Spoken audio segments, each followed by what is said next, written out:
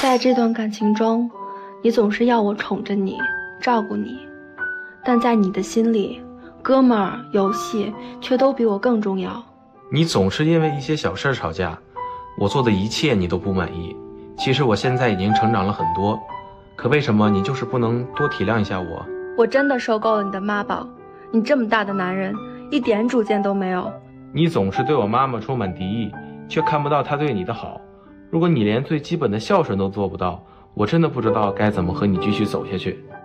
有请这对情侣，有请。小李，二十二岁，来自山东学生，有请。小宋，二十三岁，来自河南，设计师助理。欢迎两位哈。平常也这么穿吗？嗯，平时也这么穿。喜欢这个？对。好，设计师助理是做什么设计的？呃，家装设计。怎么认识的？我们在那个路边我看见她比较漂亮，我搭讪，我加她微信。呵，搭讪她？对对对。啊，街头偶遇一美女，穿越时空来看你，你看，就来了哈。嗯。然后搭讪之后呢？之后我就加她微信了嘛，然后加了微信。你就给她加了。一开始也是不同意嘛，然后后来她比较坚持，比较努力的追我。哦，就就就那要这个微信要了多久啊？呃，一个多月吧。每天早上第一条消息就是，哎，你加我吗？你加我吗？就是请求添加好友嘛。然后我就不同意嘛，我一开始不同意，到后面确实，啊，这个小伙子，然后挺那啥的，我就同意了。你比他大一岁哈？嗯，比他大一岁。怎么样，男朋友？我觉得他不成熟，他有很多的毛病，就比如说，他特别的妈宝，然后还总让我照顾他，让我让着他，在他心里面，我就得像他妈妈一样宠着他。哦哦哦哦哦，女朋友改妈了是吧？他要求你怎么宠啊？生活里面我要处处让着他，就比如说天天早上要我给他打电话叫他起床，期末复习考试的时候。他自己对自己的事情不上心，天天呢就让我来督促他去学习。我觉得我岁数比他小一岁嘛，然后他应该多照顾照顾我，也也是属于正常的。但是我那些要求都不过分，一点都不过分。我也不是每天都起不来，就是有的时候我怕我万一没起来，让他叫叫我。然后我学习可能有时候自制力也差。他学习挺好的，我正好借用他那个学习方法，我能多学一点，我能学得好一点。他那根本就不是自制力差，那是根本就没有自制力，自己对自己事情一点都不上心。你说你这么大人了，你不得对自己事情上心吗？那我就是上心，我才让你叫我起床，我才让你教我学习什么的呀。那是那是天天叫你起床，那可不是偶尔叫你起床。当妈的也就这样，反正对于幼儿园的小朋友就是叫嘛，啊，再大一点小朋友就自己起了嘛。所以您今年贵庚啊？二十二。啊，二十二岁。你现在基本就是四岁嘛，四岁的小朋友是需要每天叫醒的吗？没有每天，就是偶尔，我怕我哪天万一没。我理解了，就是。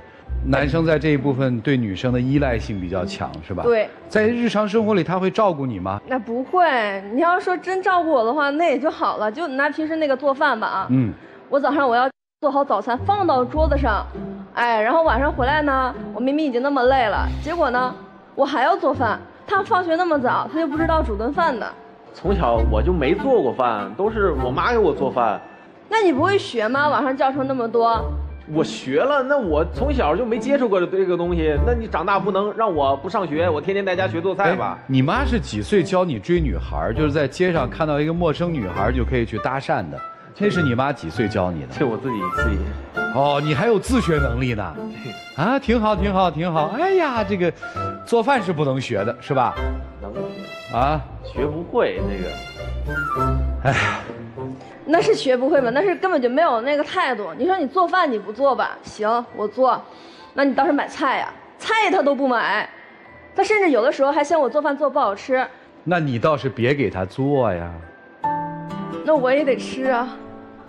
自己吃自己的呀。那我吃完自己之后，我这不是想着他要不给他做的话？所以你还是你喜欢当人家妈妈嘛？那没办法了。反正就是挺过分的，他这。就什么都不干，就在家就是甩手掌柜。不是我，其实所有东西我全都干过，但是第一次肯定干不好嘛，干不好他就开始训我，就跟我妈一样说我什么的，哎，你这干不好，那干不好，你根本就没给我机会啊！我就想试试嘛。那我本身就没做过这些事儿。你觉得在除了我们把家务这部分抹去，在你们俩的这个交往过程中，这小子重视你吗？我觉得他不重视，一开始的时候是重视的啊，但是后面他就变了。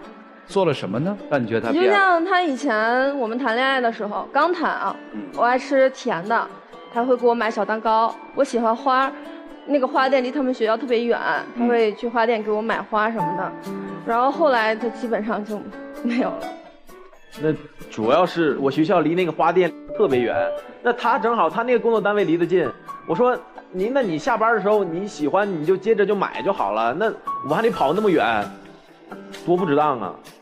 那是不值当吗？你是就根本就没有想起来给我买，而且你这已经不是第一次不重视我了，在你心里面，你的朋友、你的家人、你的所有所有其他的事情永远排到我的前面。有，就是我那天啊，肚子疼的就在床上真的是起不来嘛，脸上煞白煞白的，我就想喝一碗热乎乎的，结果呢，他到厨房接了个电话，他朋友一下就把他叫走了，结果到凌晨才回来。那确实，当天我朋友突然给我来电话说他要搬家，那我一看，那晚上那都是他要搬家，那没地儿住了，晚上那搬不完的话，我赶紧去，我赶紧帮他。他那边事儿比较急，你晚一点喝，那着什么急呀？他那边多着急的事儿啊，那晚上那没地儿住了。哼，他晚上没地儿住了，那你有没有想过，你家里面还有一个生病的女朋友呢？真的是，如果我要不看你的朋友圈，我都不知道你大半夜竟然还跟你朋友去唱歌喝酒去了。那。这是帮人家搬家，那人家不得请吃饭？那我请吃饭，我中途走，那也不像话呀。你怕你朋友生气，啊，你可以这样。那你怕不怕我生气呢？你都知道跟你朋友说一声，你都不知道跟我说一声。你哪怕给我来一个电话，说你跟你朋友搬家去了，那也算回事啊。他来的电话急，然后我就没顾得上跟你说，啊有多急？就是啊，你快过来吧，就是我这个突然。沏一杯热水要多久？就是他他沏一杯热水要多久？可能也得几几分钟吧。家里面的热水直接倒一杯热水，你再走多好啊。我都没让你熬什么，你给杯热水总行吧？主要我看他那样，我以为就你路遇一个摔倒在地的一个人，即使是陌生人，他说我需要一口水，你不也应该递他一瓶水吗？这不就是一个举手之劳吗？你朋友搬家有多急，臭小子？他。当时给我打电话，你朋友搬家有多急？他当时确实很急。那我我这还真是确，这个就叫真的属于末世了。你是听不下去的。那你经历这个你还不走，还在那儿？因为，因为他是我初恋，我觉得他会改的。就是再说了，我确实也比较喜欢他，然后舍不得放弃这段感情。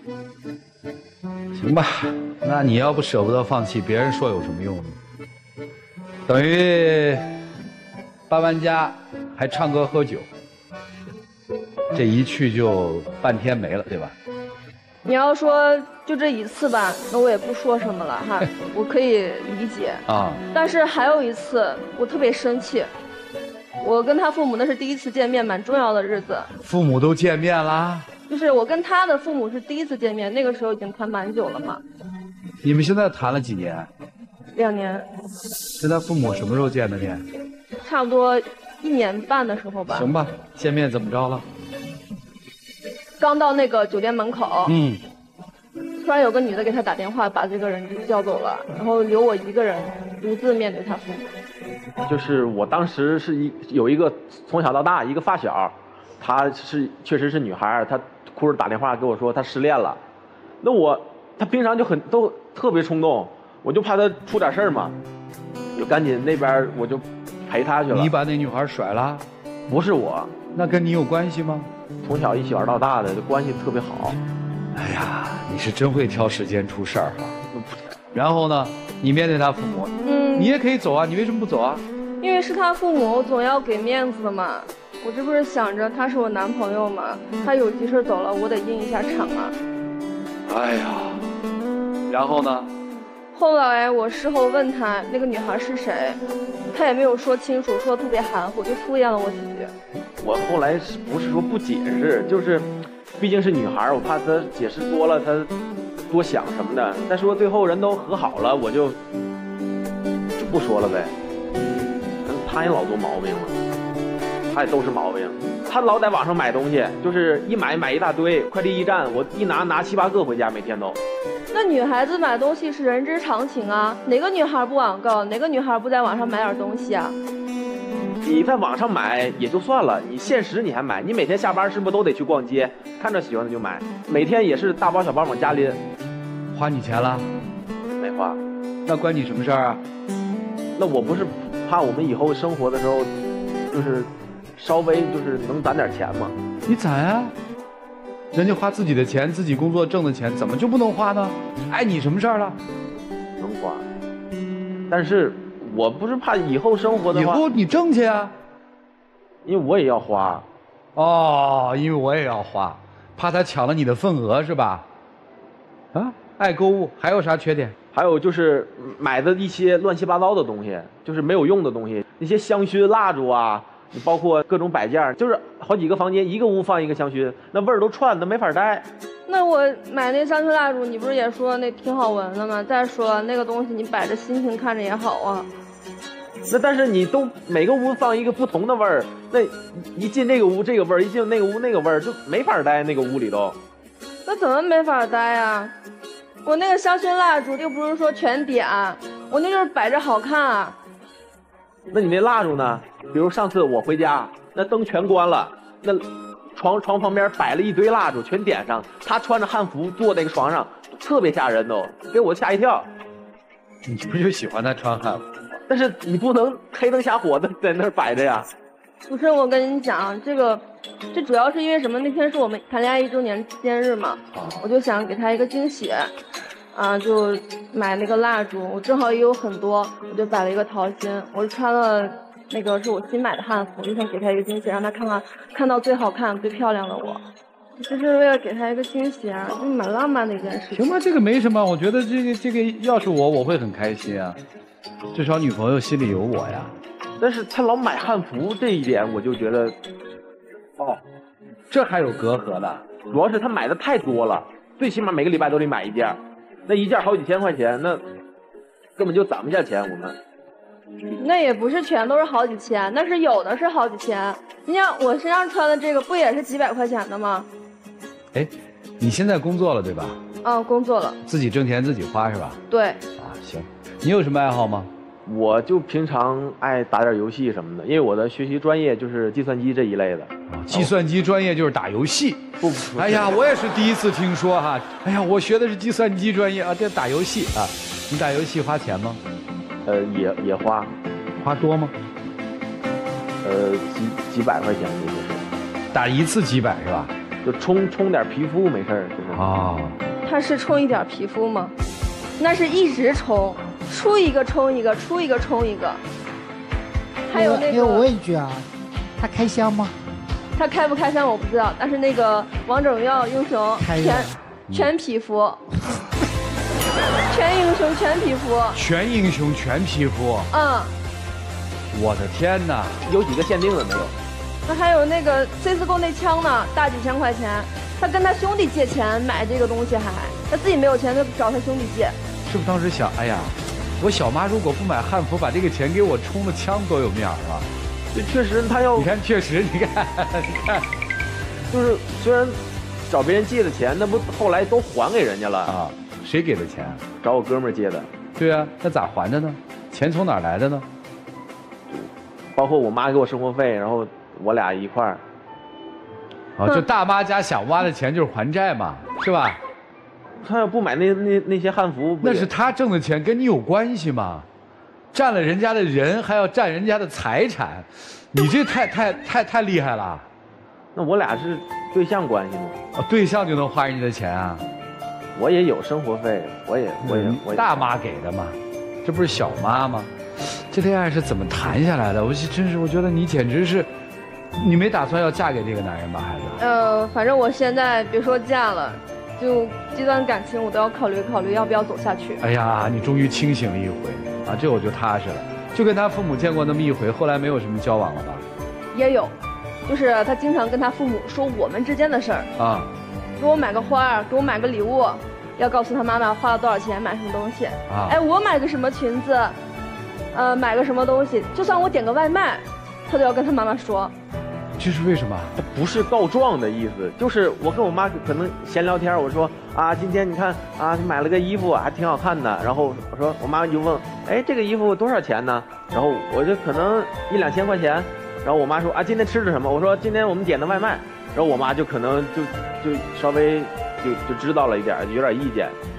你拿那个钱，你去充游戏、充皮肤，你妈妈不说什么，转头来说我买东西多费钱。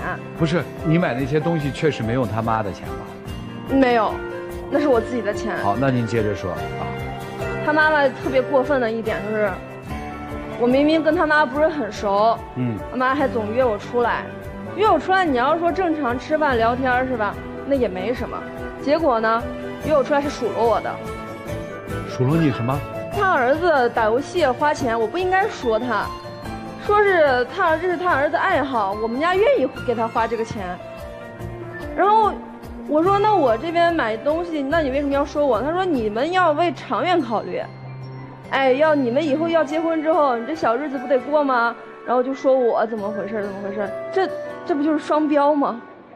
他母亲单独约你跟你聊这些事儿？对，我妈就是。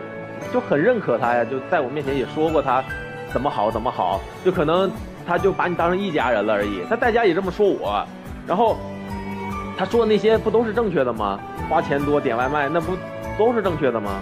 是正确的，他儿子怎么不做呢？儿子做饭不就不用花钱点外卖了吗？那我在家都没做过饭，我妈都给我做，惯坏了。哎，你你你还想跟他继续吗？人姑娘可说了啊，我没有什么打算了。我都准备走了，我肯定想，啊，我想继续。来说说你未来的打算吧，怎么考虑的？我想的就是我毕业之后，就是跟我妈提过这件事儿，就是旅行嘛，先毕业旅行。哦。然后我妈也同意，我妈她挺挺支持我。去哪儿旅行？就是先就是全国各地啊。啊，和谁去旅行？肯定和他，我俩一起去。旅行完了之后，就是看了全国了，眼界都宽了。啊。就是在找工作，然后再。努力工作挣钱，这个大概用多久把祖国的大好河山都游历个遍啊？我觉得怎么着也得一年时间吧。好，毕业先用一年去游历祖国的大好河山，对，然后再找工作，嗯，然后呢，再考虑结婚生子，彩礼啥的咋办啊？彩礼我妈出，我妈都已经定好了。房子呢？房子也是我妈给首付，然后到时候我们一起还贷款。主持人，我跟您讲。他那个毕业旅行，您可别听他搁那白日做梦了。为期一年的毕业旅行，我这个工作的话，那我就要放下。那我们这个毕业旅行的钱谁来出呢？他根本就没有站到我的角度上去考虑。还有那个彩礼，我们家是要十八万八，结果他们家八万八就要把我打发了。甚至房子是他们家是出首付，可是打算的可好呢？打算让我婚后跟他们家一起还这个贷款，然后。要出贷款大头，还要出生活费大头，然后房子不写我的名字，美其名曰呢，说是你也是我们家的媳妇儿，是我们家的人，写不写名字都无所谓。你们还谈过彩礼的事儿，姑娘？嗯，是一开始就是那个时候还没有闹这么僵的时候，谈过，但是现在我觉得，那我妈都出这么多钱了，我妈提点要求，我觉得也不过分吧。再说了。那八万八和十八万八只是数字不同，那咱俩感情在这儿了，不管什么钱，我觉得也无所谓啊。少爷，八万八和十八万八，就就就是数字不同，是吧？对，这不也不影响我俩之间的感情嘛？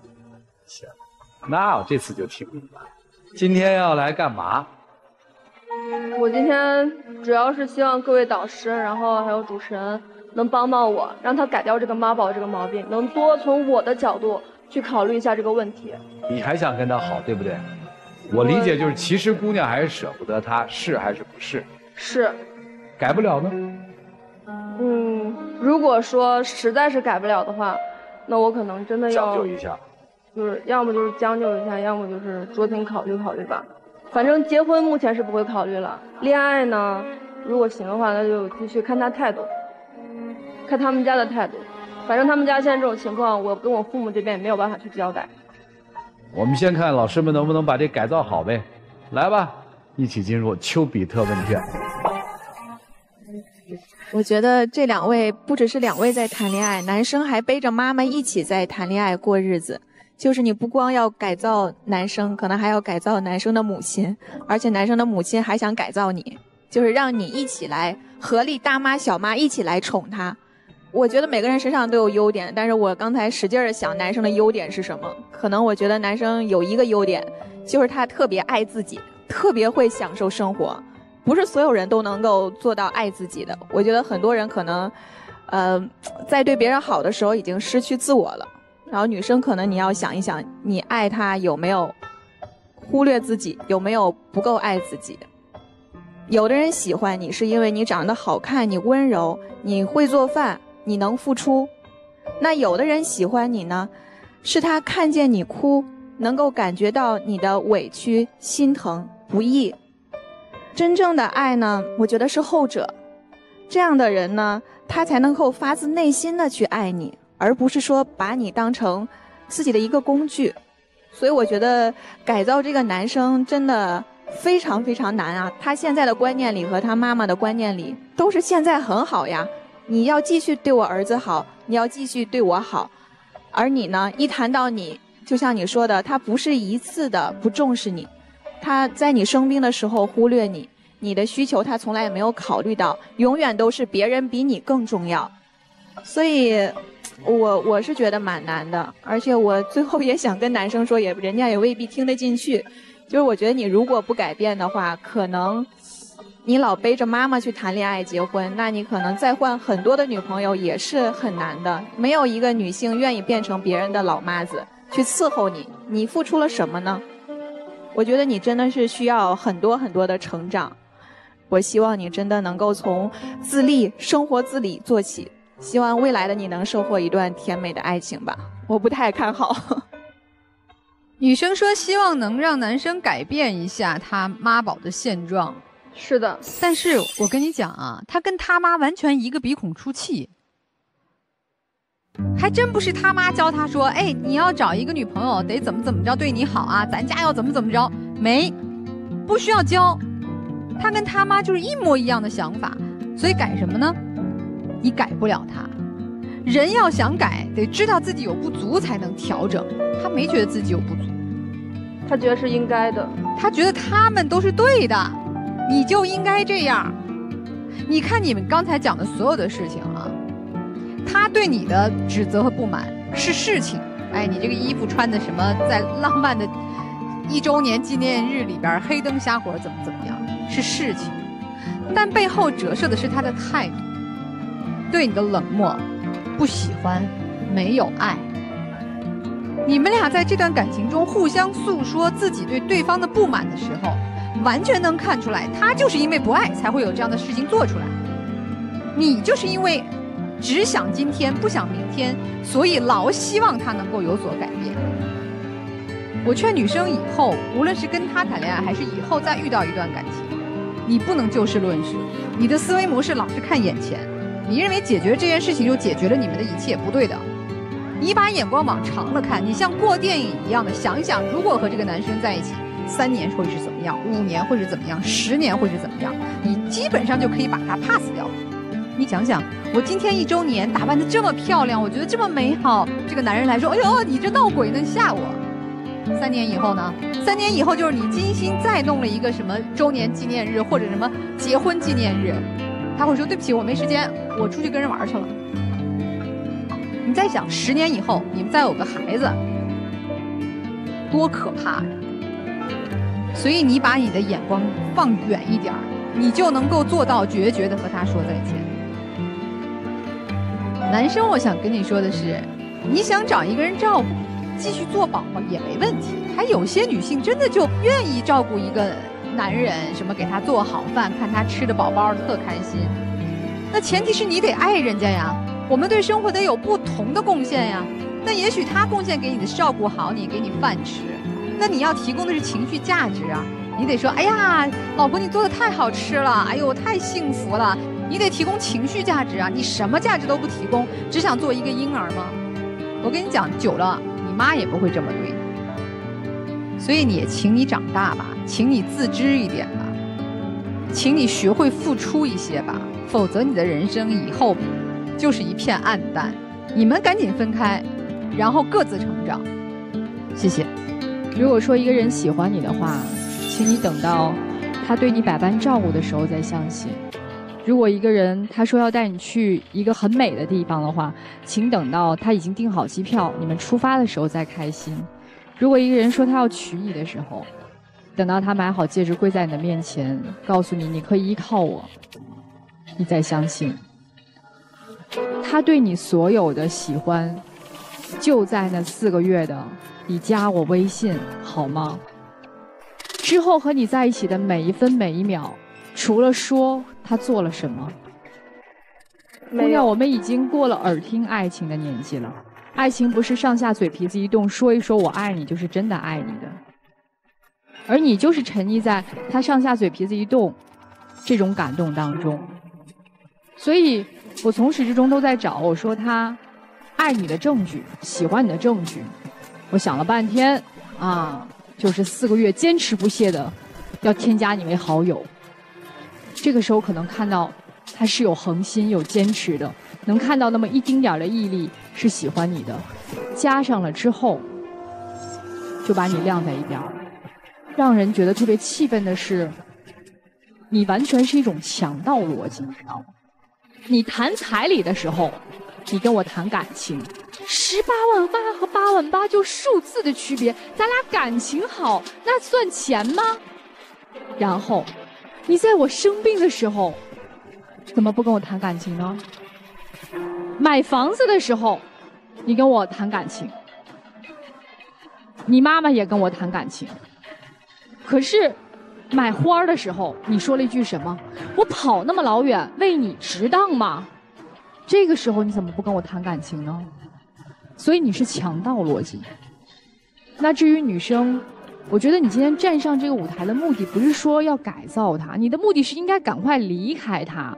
你居然还能给自己一个台阶下，说啊，我跟他结婚是不可能的，但是再看看吧，你看什么呀？面对这样一个男人，你还在往下看，他都如此漠视你，如此不珍惜你，如此不重视你，你留在他身边干嘛？找羞辱吗？你最大的问题就是不懂得拒绝，不懂得自我保护，别人说什么就是什么。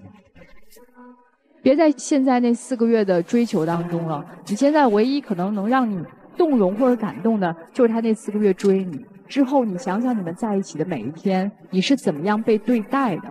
如果你还爱自己的话，那你今天来到我们节目的目的，就是要告诉他，我要跟你分手。谢谢。你爱你妈吗？爱。那你为你妈做了什么？一样的，不只是你呀。大妈也是一样的，也被忽视了，不要委屈啊！做妈就是被忽视的。妈宝，它是一种共生依赖的状态，它其实就是你不需要为你妈做什么，你妈也会爱你。所以在很多时候，你活着，你生存着，承载你妈的爱，对于你来说，就是你二十多年来的生活，你已经习以为常了。所以。在整个过程中，你会发现，其实你不是没有能力，人家一个电话过来，马上帮人搬家去了，你不是完全干不了活，一定是有这方面能力。问题就在于，越是跟你有情感连接的人，你就越忽视他。这是你在家里面所养成的一个行为习惯。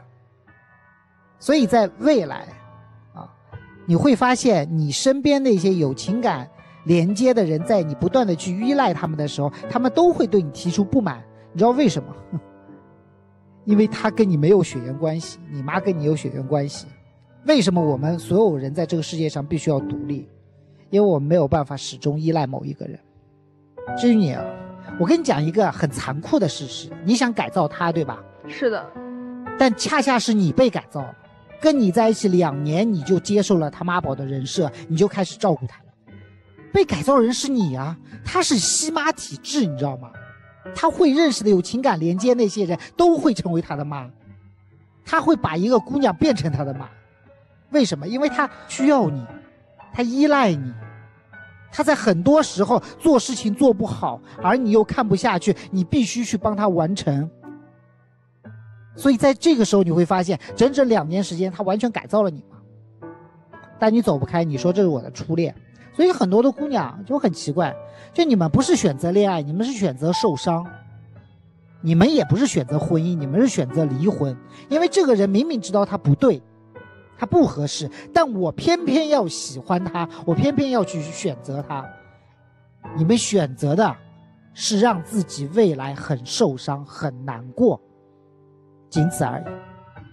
在这种时候，我们要明白一个道理，就是你在面对一个人的时候，你能不能改造他，就看他的家庭价值观。如果他的家庭价值观是一致的，这个人你绝对没有任何可能性可以改造他，你反而会被这种家庭价值观给吞噬。你离他们家越近，你就越容易接受他们家的价值观，到最后，很可能五年、十年之后，你真的被改造成完全认同他们家那一套东西的人了。所以到那个时候。你就不再是小妈，你就升格为真正的大妈了，就这样。谢谢陆琪老师哈，一起进入真情六十秒。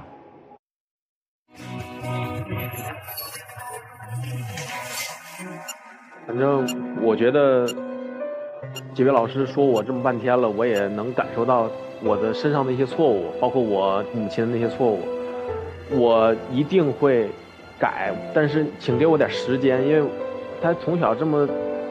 长大的我，确实一下要改改不了，我需要就是你再给我一个机会，然后让我慢慢的改。我现在在你心里，你觉得是一个什么位置？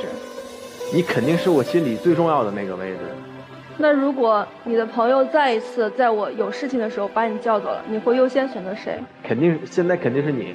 我之前不成熟不懂事，我现在我已经完全我认识到了这个错误。我真已经下定决心要全改了。我我想想吧。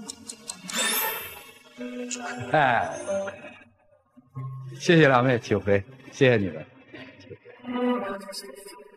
电视机前的观众朋友，我们节目组的唯一官方报名热线是零二二三六零六三零幺，有情感困惑的观众朋友可以来电，不收取任何的费用，小心被骗。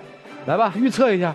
呃，我觉得可能还是会双出。我看到这个女孩最后还是恋恋不舍，男出女不出吧。希望女生还是能够听进去一些。嗯，我觉得他俩应该都会出来。这女孩就愿意听别人骗她的话，男出女不出吧。来吧，咱们看一看，请开门，请开门。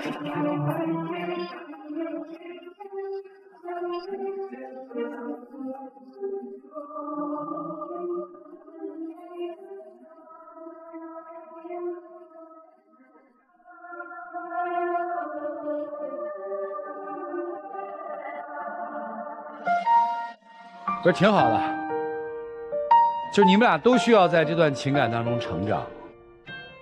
你们俩在一起谁都成长不了，你们俩分开了，真记住了，也就真长大了。妈妈没有什么错，妈妈错的是爱的方式错了。你得快点长大，好吧？还有什么要跟女朋友说的吗？其实我其实早就意识到了我有这些问题。但是可能我也没有没有人说我，就是我就改不了，习惯太难改了，对吧？嗯，因为那些习惯还都是自己获利的习惯，是吧？对，下去以后我一定尽全力，我要改改掉这些问题，我争取再把它追回来。谢谢你，请回。